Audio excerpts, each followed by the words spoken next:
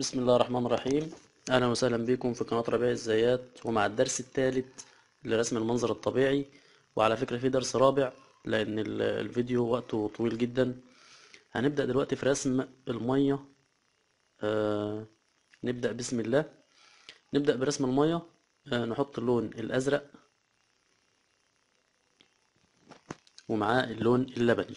زي ما عملنا في الجزء اللي فيه مية فوق هنشتغل في الجزء برضو الجزئية الكبيرة اللي تحت ديت؟ بالفرشة معايا علبتين علبة فيها أزرق وعلبة فيها لون لبني. وأبدأ يا جماعة ضربات المية آه، عشان أبين فيها إن هي فيها أمواج خفيفة. بشتغل الأول اللون الأزرق في الأماكن الغامقة أو تحت ال- الجزيرة مثلا اللي في النص ديت وهبدأ أوزع اللون اللبني بتاعي. بص يا جماعة الضربتين دول ضربتين أخضر أو ضربتين باللون الأصفر عشان أدي ظل لل- للنجيلة اللي فوق في المية. كأن ليها ظل تحت. زي ما أنا بعمل كده هرمي أخضر تحت وأنا بسيح المية برمي لون أصفر. لو رميت أصفر هيديك برضو اللون الأخضر مع المية. لازما المية يبقى فيها انعكاس للنجيلة اللي فوق علشان أقدر أوضح للشخص إن فعلا في ظل للون الأخضر في المية. وأبدأ أشتغل كل تسييح بعمله في المية لازم أعمله بالعرض ما ينفعش إن أنا أشتغل بالطول. زي ما أنا شغال كده بالظبط بفرد مساحة كبيرة بفردها بالعرض. ولو فردت مساحة بالطول أه بخليها عادية خالص أسيحها وبعد كده برجع أمسها بالعرض.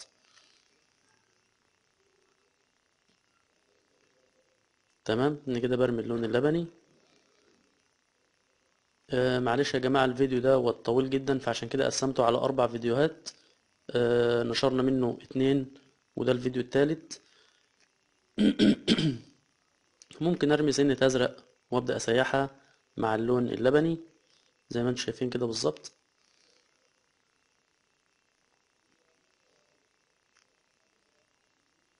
وبقفل على ال- الجزئية اللي تحت بتاعة الوزرة بتاعة السيراميك. بخلي المنظر بتاعي يقفل معايا الجنب من فوق ومن تحت من كل الاتجاهات. رغم إن كده كده هيجي ركنة أو هيجي مثلا أنتريه هيخبي المكان دوت من تحت. ولكن إذا اضطرت الظروف والزبون هيشيل الحاجة ديت من مكانها يبقى المنظر بتاعك كامل ومفيهوش أي نقص. بشتغل بسيح اللون اللبني مع اللون الأزرق وأدي ضربات باللون الأزرق في اللون اللبني وأبدأ أسيحها مع بعضيها عشان تدي كأن في موجة أو آه، في عالي واطي في المية.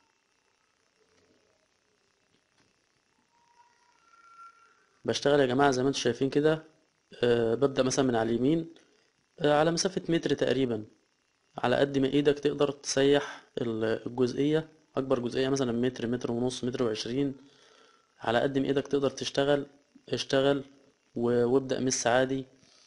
وبالمناسبة لما تيجي تشتغل فوق مش هيحصل لحام لأن أنت شغال بنفس الألوان. وأبدأ أمس زي ما إحنا شايفين كده يا جماعة. مخليش اللون مركز. امسها اخليها طبقة واحدة. ولكن فيها آه، تدريج لوني المنطقة دي يا جماعة. هدي أزرق تحت. تمام؟ بص أنا غمقت في المنطقة دي. أي تسييح وأي شغل بشتغله بحاول إن أنا آه، أحاول أدمج الألوان مع بعضيها. يعني أنا مثلا لو بعمل ظل آه، عفوا يا جماعة في. في الوقت دوت حد فصل ال- الفيديو وأنا ما خدتش بالي آه، بدي ظل للون الأحمر للشجرة في المية. انعكاس ليها. وانعكاس الجزيرة موجود برضو في المية رغم ان إحنا لسه ما عملناش الجزيرة. بنفس الطريقة اللي إحنا سيحنا بيها اللون الأخضر. تمام؟ آه... معلش ده خطأ ما خدتش بالي. حد لعب في. في الفيديو؟ الظل بتاع النجيلة موجود والظل بتاع اللون الأحمر موجود هنا. وأبدأ أسيحه برضو بحط زي ما حطينا سنة الأخضر بحط سنة أحمر وأبدأ أسيحها مع الأرضية. بحيث تدي انعكاس معايا في الأرضية إن أنا عملت آه، ظل الشجرة الحمراء دي في المية. وأبدأ برضه أحرص جنب جنب الشمال وأشتغل. بصوا يا جماعة أنا بدهن. البلاستيك بتاعي خام على فكرة اللون اللبني خام. ما بحطش عليه مية كتير ولا حاجة. ممكن أحط يعني حاجات بسيطة جدا. ممكن نص كوباية شاي صغيرة. حاجة بسيطة جدا. بحيث ان أتحرك معايا اللون بس مش أكتر. وفي نفس الوقت ما تعملش معايا آه، كتلة من اللون. أنا كده بدي تاتشات باللون الأزرق وأحاول أدمجها مع الجزء اللي أنا عملته في النص. رغم كده كده إن المنطقة دي مش هتبان. زي ما قلنا هيجي عليها مثلا أنتريه أو ركنة ولكن آه، اهتم بتفاصيلك وحاول تدمج الألوان مع بعضيها و... وربنا يوفقك إن شاء الله. طيب إحنا كده بنسحب اللون اللبني بقفل وخلينا فاكرين إن الأرضية بتاعتنا لبني نص لمعة. الأرضية بتاعتنا يا جماعة لبن نص لمعة لازم تبقى نص لمعة علشان أقدر أسيح الألوان فيها بسهولة. لأنك لو أنت عطيت مط اللون هينشف معاك بسرعة مش هتلحق تسيح اللون. هيعمل معاك لحمات. منطقة الصخور دي ممكن ندي ضربات باللون البني. وأبدأ أسيحها مع المية بحيث أدي انعكاس برضو للصخور. حاجة خفيفة كده آه، تبان إن الصخور آه، الظل بتاعها في المية. آه، ممكن أتقلها شوية برضو لو حسيت إن البني آه، اندمج مع الأرضية أكتر. هحاول أجيب شوية بني تاني وأتقل المسافة دي شوية أو الجزئية دي شوية. وإن شاء الله في دروس متقدمة. عن كده إن شاء الله هنبين تفاصيل التفاصيل في المنطقة دي أو في منطقة آه، إزاي ارمي ظل للحاجة في المية. في فرق يا جماعة بين الظل وفي فرق ال- الانعكاس نفسه وفي فرق بين الظل والنور. يعني مثلا لو قلنا إن اتجاه ال- الشمس جاي على الصخور فعامل فيها أماكن بيضة وأماكن غامقة عشان أظهر إن في لسعات ضوء عليها دي ملهاش علاقة بالانعكاس بتاعك في المية. الانعكاس بتاعي في المية ده حاجة تاني. إن أنا بكرر يعتبر بكرر الصخور دي تاني في المية بشكل أوضح من كده. ولكن في ال- المنظر دوت إحنا هنرسم آه، بالطريقة دي. ولكن في دروس تانية إن شاء الله هنوضح إزاي نعمل ظل في المية آه، لل- للحاجة اللي موجودة دي بالظبط يكون زيها بالظبط. الفرشة بعد ما عملت بيها بني ما ما اشتغلش بيها في المنطقة دي. هحاول اغسلها عشان اعمل اندماج ما بين اللونين.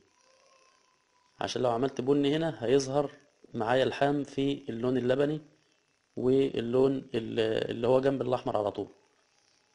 برمي لون لبني زي ما أنتم شايفين كده كتل كتل وبعد كده ببدأ أوزعها. برضو بقفل على السيراميك من تحت وأبدأ أوزع درجات اللون اللي أنا حطيتها. واشتغل بالفرشة أوزع الأول اللون في المساحة كلها وبعد كده أبدأ أسيح الألوان مع بعضيها واللي ما خدش لون بديله لون واللي حسيت إن هو خفيف شوية أو فاتح شوية بزود له سنة لون لبني عشان يتماشى مع الأرضية. دلوقتي إحنا فاضل لنا حاجات بسيطة ونقفل الجزء اللي هو فيه المية. وإن شاء الله بإذن الله برضو في دروس تانية هنعمل فيها المية بلون أبيض أو بلون أزرق غامق أو بلون أخضر. المية بتتشكل على حسب الحاجة اللي فوقيها أو لون السما اللي فوقيها أو آه، درجتها من المنظر نفسه أو من المكان نفسه. يعني أنا مثلا مغمق تحت الشلال المنطقة دي فيها ظل. في ظل رامي على المنطقة دي. المنطقة دي بصوا يا جماعة هزود أزرق هنا عشان ما يعملش معايا الحام مع النجيلة وسنة أسود عشان أدي عمق في الجزيرة اللي إحنا شايفينها ديت اللي الشجرة واقفة عليها. بعدين سنة أصفر وأبدأ أدمج الألوان مع بعضيها برضو. بصوا كده يا جماعة كده ظهر لنا النجيلة. بعد ما عملناها هرمي أصفر تاني. بعد ما عملنا النجيلة هنلاحظ إن ظل النجيلة موجود في المية. رغم إن إحنا عملناه قبل كده والأحمر موجود والنجيلة موجودة كأن ليها ظل في المية. والمية دي برضو يا جماعة هتاخد تاتشات باللون الأبيض في وقت التشطيب عشان تبين إن فيها حركة موج خفيفة كده. كده جزئية المية آه، شبه اتغطت والمنظر بتاعنا تقريبا كله اتغطى ما عدا جزئية في اليمين خالص مثلث أبيض كده هنعمله معانا برضو ولكن أنا ما طلتوش من تحت هنجيبه على السلم.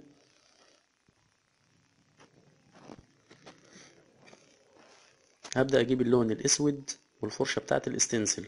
بصوا يا جماعة بيطلع فروع للشجر باللون الأسود في منطقة ال- الشجرة ديت وأعمل جذوع للشجر مستخبية شوية أو بتبقى تخينة من تحت ورفيعة من فوق طبعا. على الوضع الطبيعي بتاع الشجرة. أي شجرة يا جماعة هنلاحظ إن هي تخينة من تحت ورفيعة من فوق على أساس تبقى آه، ليها ميزة الثبات في الأرض.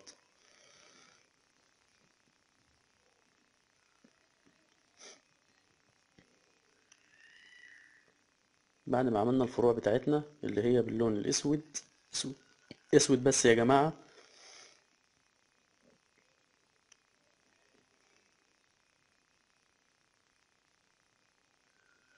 على فكرة في ناس بتسألني بتقولي الأسود ما بيغطيش على اللون. هقول له يا جماعة أنا بحط كمية أبيض قليلة وكمية أسود كتيرة يعني بحط العلبة سليمة. أنا كده هدي ضربات باللون الأحمر. تمام؟ على الفروع دي عشان أوضح إن ده آه، جزئية أو كتلة شجر على الجزيرة ديت. هدي ضربات باللون الأحمر زي ما أنتم شايفين. داخل الإطار اللي أنا عامله ما بطلعش براه لأن لسه المفروض إن أنا هشطب الشلال الأول. هعمل الشلال الأول على أساس إن الشلال ده ورا وبعدين الشجر يبقى على الأطراف. فبدي ضربات كده وأسيبها شوية تتهوى بعدين هرجع للشجرة دي تاني. هنعمل الشلال الأول علشان لما نعمل الشجرة تبقى الشجرة قدام الشلال مفيش أي إيه أي لخبطة في الاتنين. هجيب اللون الأبيض يا جماعة والفرشة بتاعتي فرشة عادية خالص مفيهاش أي مشكلة ولكن هي عدلة من قدام. بصوا يا جماعة بجيب نفس العوجة البسيطة دي بمشي الفرشة شمال شوية وانزل. وأنا نازل بخطف إيدي على مفيش قبل ما أوصل لنهاية المية. بتقل هنا بنفس الحركة وأنزل بنفس الخطوط دي. بصوا يا جماعة شعر الفرشة بيشتغل معايا بحاول أخف إيدي وأطلعها لبره خالص بحيث إنها تنزل على مفيش يبقى يبان إن اندفاع المية من فوق عامل رغاوي فمبينة معانا اللون الأبيض وتنتهي على مفيش لنهاية المية اللي هيظهر بعديها الطرطشة بتاعة المية. باخد الفرشة من فوق أسحبها على الشمال وأنزل على مفيش وطبعا كل مرة بحط اللون الأبيض في طرف الفرشة بس في طرف الفرشة بس يا دوبك أغمسها حوالي آه، نص سنتي تقريبا نص سنتي. حاجة بسيطة جدا. وابدأ أحط الشلال بتاعي والطريقة بتاعتي زي ما أنتم شايفين كده عشان أوضح إن ده شكل شلال. تمام؟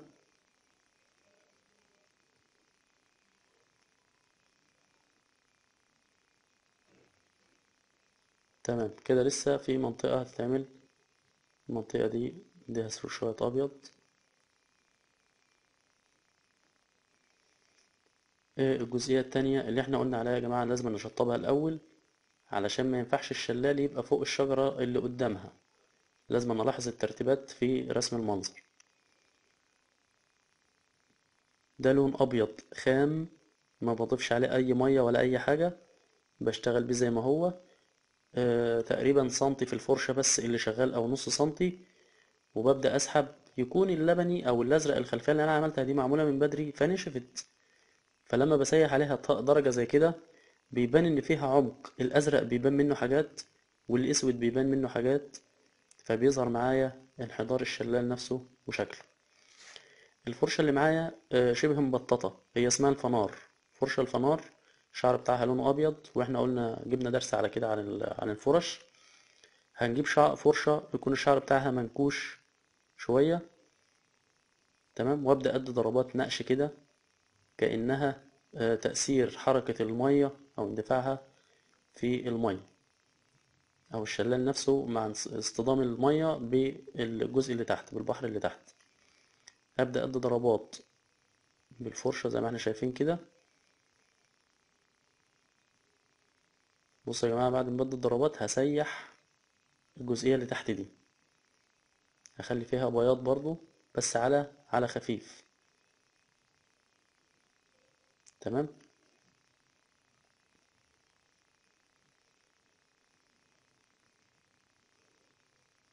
وابدأ ادي آه، تسييحات بنفس الفرشة اللي أنا شغال بيها ديت.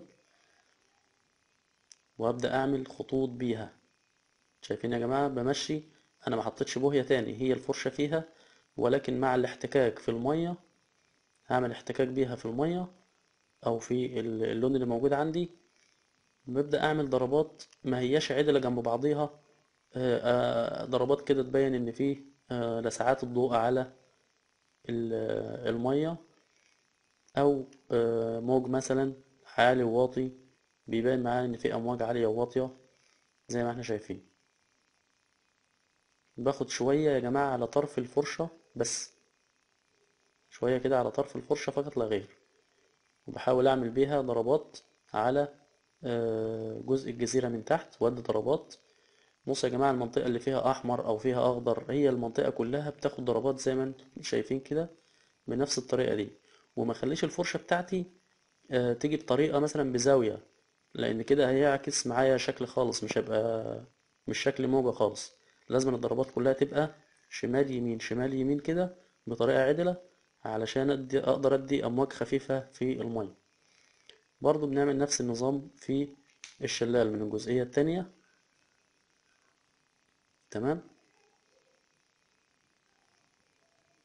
وأبدأ أدي نفس الضربات نفس الضربات وأحاول إن أنا أدي نفس الضربات على نفس المستوى. بصوا يا جماعة لساعات ما مش كلها قد بعضيها أو مش كلها زي بعضيها ضربات صغيرة وضربات كبيرة وضربات تقيلة وضربات خفيفة. زي ما الفرشة هتدي معاك.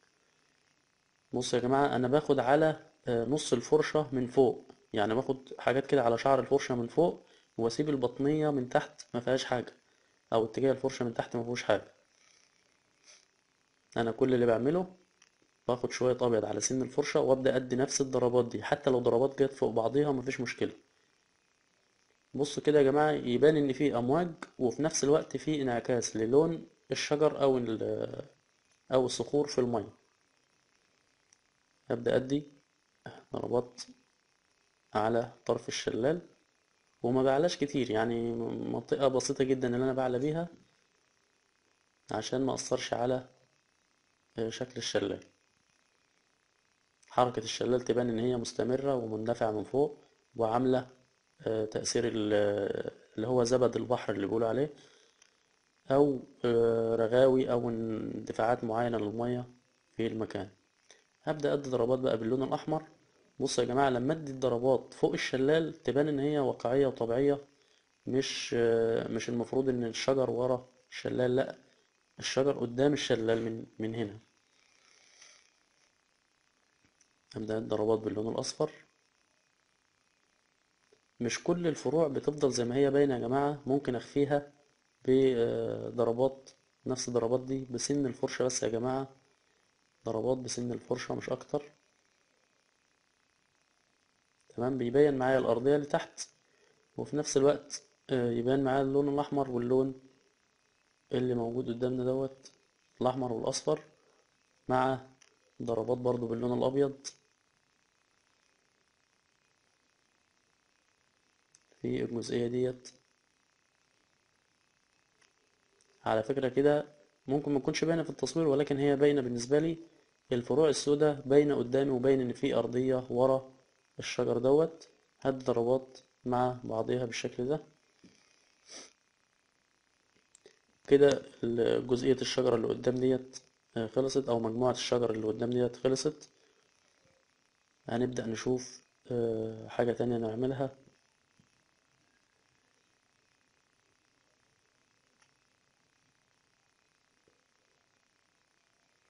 لون أزرق. ولون أخضر بصوا يا جماعة باخد اللون الأخضر على إيه؟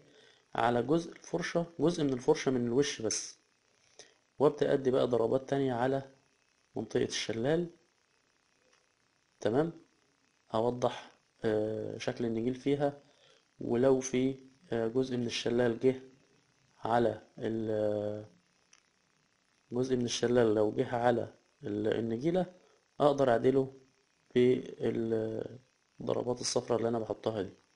وأحاول أعلي الضربات الصفراء شوية بحيث تبان معايا إن فعلا في آه، آه، أضواء على أو إنارة على ال- النجيلة وتبان تفاصيل وانحدار النجيلة واتجاهها. برضو بدي نفس اللون الأصفر من فوق ضربات. بصوا يا جماعة ضربات واقفة ضربات واقفة ومتوزعة.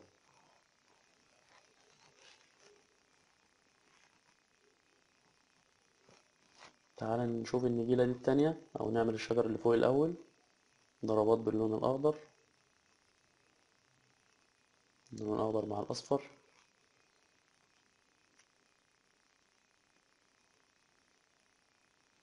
بصوا يا جماعة النجيلة زي ما عملناها قبل كده في فيديو هنعملها بنفس الطريقة في الجزئية دي.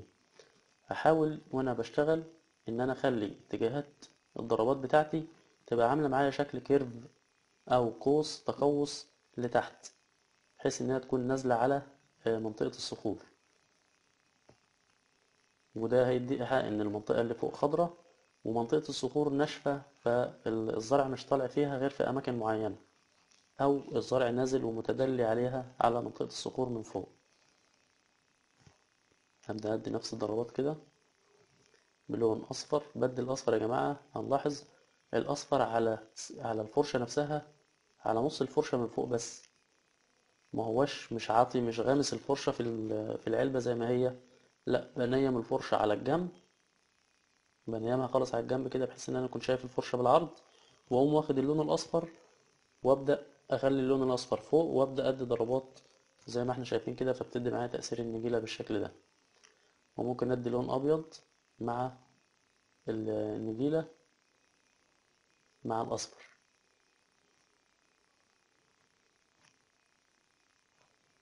ضربات خفيفة باللون الأصفر مع الأخضر ما بين الصخور فيبان إن في آه، كتلة زرع ما بين الصخور طالعة ما بين الصخور أو أي شجيرات صغيرة كده.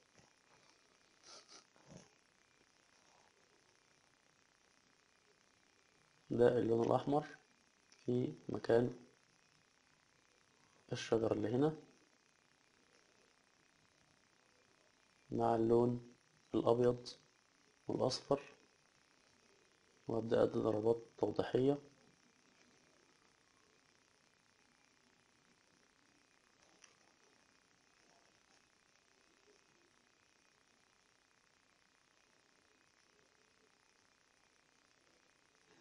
تمام؟